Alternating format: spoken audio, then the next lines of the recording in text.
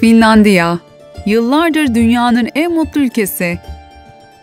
Eğitim sistemiyle tüm dünyaya örnek olan, eşitlik ve özgürlük gibi birçok konuda ilk sıralarda yer alan kuzeyin karlarla kaplı ülkesi Finlandiya hakkındaki videomuzu gelin birlikte keşfedelim. Finlandiya, Kuzey Avrupa'da yer alan bir İskandinav ülkesi. Baltık Denizi kıyısında yer alan ülke, doğuda Rusya, kuzeyde Norveç, batıda ise İsveç ile komşu. Türkiye'nin yarısı kadar bir büyüklüğe sahip Finlandiya'nın yüz ölçümü 388 bin kilometre kare. %72'si ormanlarla kaplı olan ülke, aynı zamanda 188 bin göle sahip. Finlandiya'da gün doğumu ve batımı zamanları ülkenin yarım kürenin en kuzeyine yer almasından dolayı etkilenir. Güneş yazları geç batarken, kışları ise erken batar.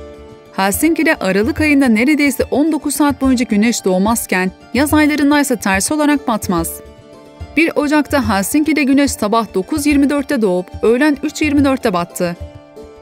Finlandiya bayrağında yer alan mavi renk ülkede çok sayıda bulunan gölleri, beyaz renk karlarla kaplı topraklarını, İskandinav haçı ise Finlandiya'nın diğer İskandinav ülkeleriyle olan bağlarını temsil ediyor. Finlandiya Türkiye'nin bir saat gerisinden gelmekte. İki ülke arası uçuş süresi ise 3,5 saat.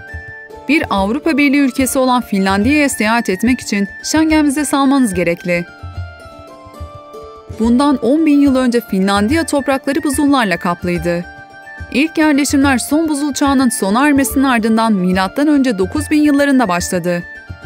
Buzul çağının ardından topraklara gelen ilk yerliler ve Baltık bölgesinden gelen göçmenler Fin milletini oluşturdu. Din aracılığıyla yanı başındaki komşusu İsveç'le sıkı ilişkiler kuran Finlandiya, 12. yüzyılın ortalarından itibaren 700 yıl boyunca İsveç egemenliğinde yaşadı. 108 yılda Rusya egemenliğinde kalan ülke, 6 Aralık 1917 yılında bağımsızlığını ilan etti. Rusya 2. Dünya Savaşı sırasında Finlandiya'ya iki kere daha saldırdı. Finlandiya bu savaşlarda topraklarının %10'unu kaybetse de bağımsızlığını korumayı başardı. Fin askerlerinin Rus tanklarına karşı kullandığı ve adını dönemin Rus Dışişleri Bakanı'nın soyadından alan Molotov kokteyli de bu savaşlar aracılığıyla tanındı. Finlandiya şu an parlamenter bir cumhuriyet ve dünyanın en genç kadın başbakanı olan 34 yaşındaki Sanna Marin tarafından yönetiliyor. Marin, ülke siyasi tarihinin 3. kadın başbakanı. Ayrıca 19 kişiden oluşan hükümette 12 kadın bakan bulunuyor. 19 bölgeden oluşan Finlandiya'nın başkenti Helsinki. 650 bin kişiyle ülkenin en kalabalık şehri olan Helsinki, aynı zamanda Kuzey Avrupa'nın da en büyük şehirlerinden biri. Ülkenin toplam nüfusu ise 5,5 milyon kişi. Konumundan dolayı uzun yıllar dışarıya kapalı yaşayan Finlandiya'nın etnik yapısı oldukça homojen bir yapıya sahip. Nüfusun %90'ını Finler, %5'ini İsveçler oluştururken geri kalan nüfus Ruslar, Estonyalılar ve diğer milletlerden oluşuyor. Ülkedeki bir diğer azınlık ise bir kuzey ırkı olan Samiler. Geçmişleri çok eskilere dayanan Samiler, diğer adıyla Laponlar, bugün Norveç, İsveç ve Finlandiya'nın en kuzey bölgelerinde yaşamakta. Finlandiya'nın Laponya bölgesinde yaşayan Samilerin nüfusu ise 10 bin civarı. Birleşmiş Milletler'e göre yaşlanan nüfus açısından Japonya'dan sonra ikinci sırada yer alan Finlandiya'da 2030 yılına kadar yaşlı bağımlılık oranının %50'ye yükseleceği öngörülüyor. Bu nedenle ülke son yıllarda hızla göçmen almaya başladı. Finlandiya'nın Fince ve İsveççe olmak üzere iki resmi dili var. İsveççe konuşanların oranı ise %5 civarı. Laponca da bölgesel olarak tanınan bir diğer dil. Nüfusun %70'i Hristiyan, %2,7'si Müslümanken yaklaşık %25'i ise herhangi bir dine inanmıyor. Bugün %100'lük okuma yazma oranı ile dünyanın en iyi eğitim sistemine sahip ve dünyanın yaşam kalitesi en yüksek üçüncü ülkesi olan Finlandiya, 1900'lerin başında oldukça yoksul bir ülkeydi. 1960'lı yılların sonunda toplumun sadece %10'u ortaokul mezunu, %7'si ise üniversite mezunuydu. Oldukça soğuk ve çoğu yeri bataklık olan ülke, yeraltı zenginlikleri bakımından fakirdi.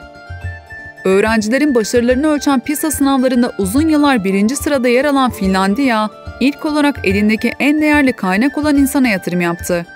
İnsan sermayesini geliştirmeyi amaç edinen ülke, üniversiteler açarak kaliteli iş gücü yetiştirdi. öğretmen yetiştirmek için üniversitelerde mükemmel bir eğitim sistemi yarattı. Ülkede öğretmen olmak için lisans eğitiminin yanında yüksek lisans eğitimine de sahip olması şartı var. Finlandiya eğitiminin en önemli sırrının öğretmenlerin kalitesi ve eşit eğitim hakkı olduğunu söylüyor. Ülkede okulların %90'ı devlete ait. Bir iş insanının çocuğuyla bir işçinin çocuğu yan yana eğitim alıyor. Okullarda ücretsiz öğle yemeği veriliyor. Teorik ve ezberciliğe değil, düşünmeye ve uygulamaya dayalı bir eğitim sistemi uygulanıyor. Öğrenciler gruplar halinde çalışmaya, araştırmaya ve düşünmeye sevk ediliyor. Genellikle ev ödevi verilmiyor ya da yarım saati geçmeyecek sürede ödevler veriliyor. Çünkü dersin derste öğrenildiğini düşünüyorlar. Teknoloji derslerde aktif olarak kullanılıyor ve okul içinde spor ve müzik gibi alanlarda birçok aktivite bulunuyor. Tüm bu uygulamalarla üstün bir başarı gösteren Finlandiya, bugün dünyaya eğitim reformu ihraç ediyor.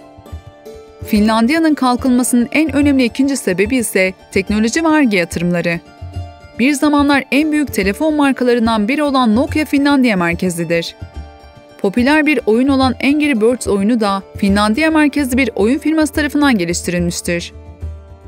48 bin dolarla milli gelir sıralamasına dünyada 14. sırada yer alan Finlandiya, bugün dünyanın en zengin ülkelerinden biri. Ülkede çalışma saati 35 veya 40 saat arasında. Yıllık izin ise 5 hafta. Daha kısa çalışma süresinin verimliliği artıracağını düşünen Başbakan Marin, çalışma saatinin 8 saatten 6 saate ve çalışma gününün de 4 güne düşürülmesini teklif etti. Bunun yanında ciddi bir iş gücü sıkıntısıyla karşı karşıya olan Finlandiya, olağanüstü sayıda yabancı çalışana ihtiyaçları olduğunu duyurdu. Batı Avrupa'nın en homojen toplumuna sahip ülke, kamu hizmetlerini sürdürmek ve yaklaşan emekli maaşı açını kapatmak için yaklaşık 30 bin göçmene ihtiyaç duyuyor. İhtiyaç duyulan meslekler arasında sağlık çalışanları, metal işçileri, bilişim ve denizcilik uzmanları üst sıralarda. Bunun yanında ülkedeki yabancı öğrenciler ve çalışanların %40'a yakını soğuk hava koşulları, yüksek vergilendirme ve dil zorluğundan dolayı ülkeyi terk ediyor. Neredeyse ülkedeki herkes İngilizceyi çok iyi konuşmasına rağmen çoğu iş yerinde Fince'de zorunlu tutuluyor. Ülkenin para birimi euro.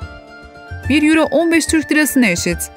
Market fiyatlarına örnek verirsek 1 litre süt 75 cent, 1 kilo şeker 69 cent, 1 kilo kıyma 5 euro, 1 kilo et 10 euro ve 1 litre ayçiçek yağı ise 2 euro.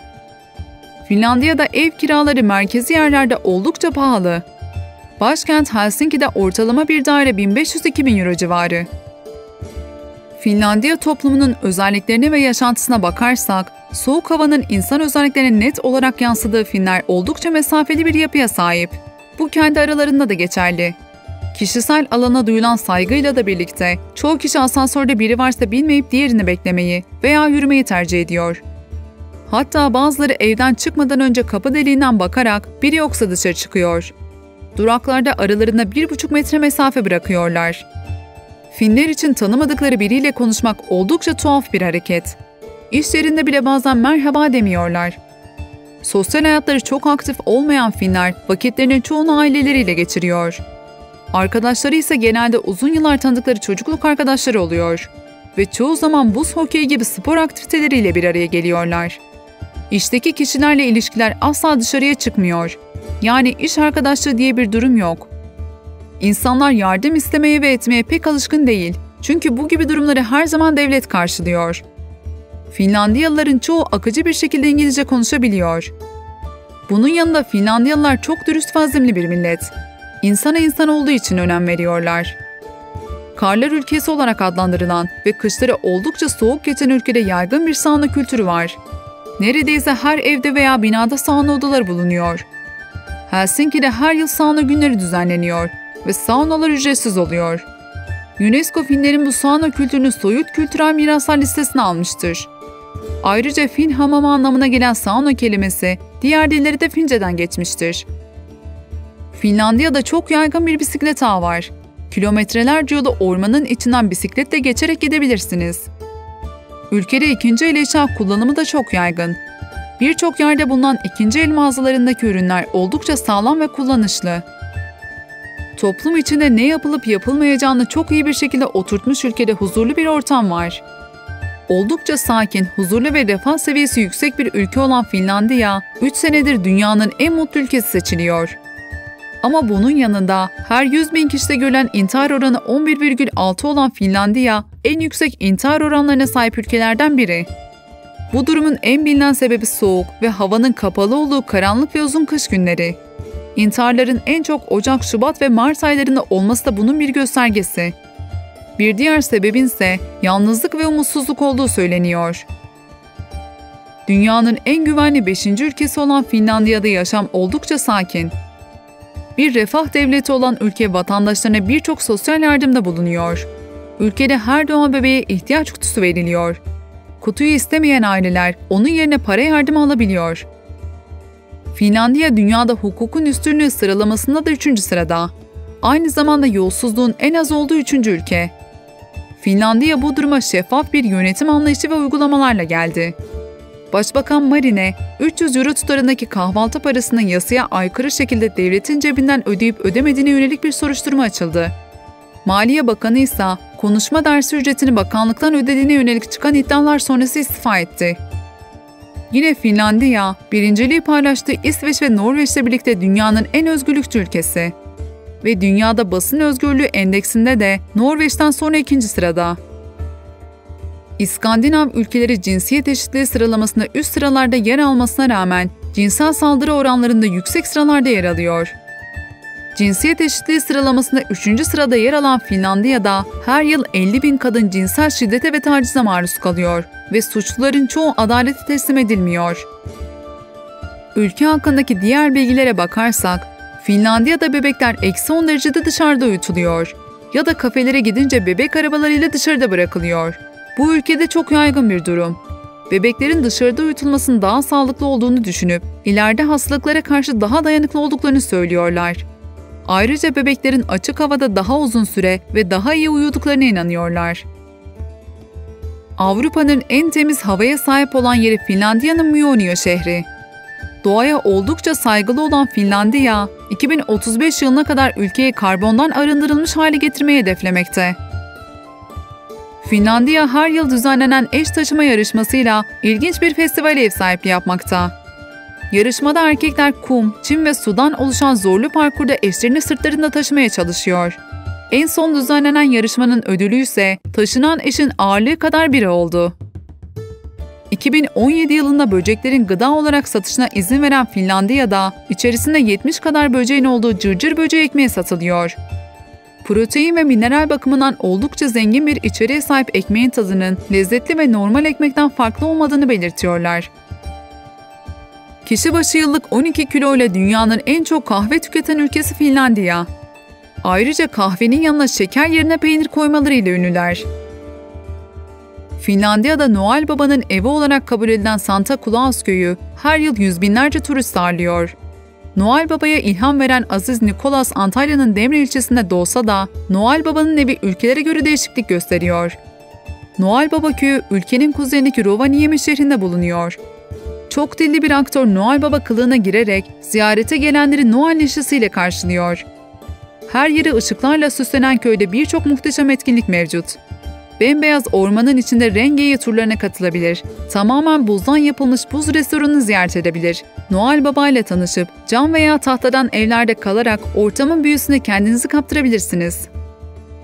Adeta bir kış masalı diyarı olan Finlandiya'nın gezilecek yerlerine bakarsak, Laponya bölgesinde cam iglolarda kalarak kuzey ışıklarını görebilir. Karlarla kaplı ormanlarda rengeyikleriyle vakit geçirebilir ve ünlü fin saunasına girdikten sonra dolmuş gölde yüzebilirsiniz. Ayrıca bölgede buzdan yapılmış Game of Thrones otelini de ziyaret edebilirsiniz.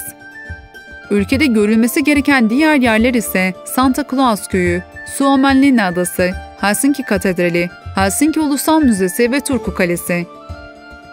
Finlandiya'nın mutfağına bakarsak, ülkede rengeyi ve balık eti oldukça yaygın. Özellikle Aralık ve yılbaşı zamanlarında tüketilen glögg adlı meşhur bir içecekleri var. Alkollü ve alkolsüz türleri bulunan tarçın, anason ve karanfil gibi çeşitli malzemelerden oluşan glögg sıcak içiliyor. Yanında ise zencefilli kurabiye yeniyor. Geleneksel bir Fin yemeği olan rengeyi sote, balık ve etin çavdar ekmeğine doldurulmasıyla yapılan kalakukko, geleneksel Fin sosisi, somon balığı ve ringa balığı ülkede denemeniz gereken yemekler arasında.